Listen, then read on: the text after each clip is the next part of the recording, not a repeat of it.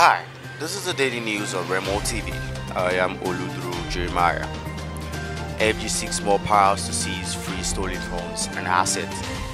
The federal government has approached the National Assembly for more powers to freeze and seize stolen phones, to freeze and seize stolen public phones and assets. The President Muhammadu Buhari, in a letter to the House of Representatives, which the Speaker Femi Gbajabiamila read at the plenary on Wednesday, sought creation for a proceed of Crime Recovery and Management Agency. In the letter dated October 6, 2020, Buhari noted that the bill seeking to establish the agency was presented to the Federal Executive Council on September 16, 2020, and was subsequently approved for transmission to the National Assembly. The letter partly read, Please recall that this bill was passed by the National Assembly in 2019 but was not granted assent due to some issues that were identified during the review. Court rules on Mompha's no case submission November 18. The Federal High Court in Lagos has fixed November 18, 2020 to rule on the no case submission filed by internet personality Ismaila Ismaila Mustafa alias Mompha who is facing money laundering charges. Justice Muhammad Liman fixed date on Wednesday after Mompha's lawyer Mr. Gboyega Oyewole moved the no case submission, urging the court to dismiss the charges against his clients. Oyewole argued that despite calling their weaknesses and tendering a load of documents, the Economic and Financial Crimes Commission failed to establish a prima facie case against Mompha and his confidant Ismalob Global Investment Limited. And on the international news, both pharmacies revenue estimates on lower interest rates.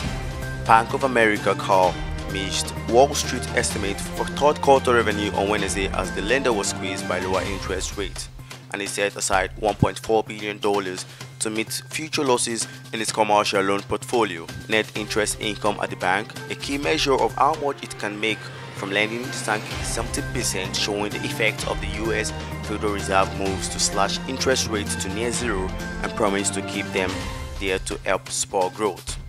However, a tight lead on cost helped the bank beat profit expectations. And on the sport news, Arsenal ambition convinced Partey to join club.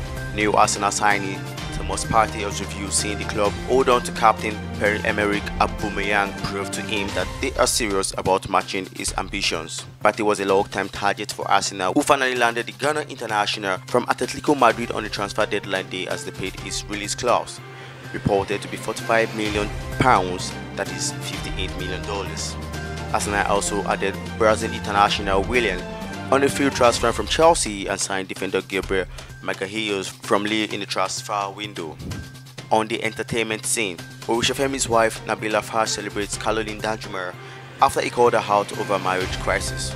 Nabila Fash has celebrated her bosom friend and movie star Caroline Danjuma after she was called out by her estranged husband Oritsefemi.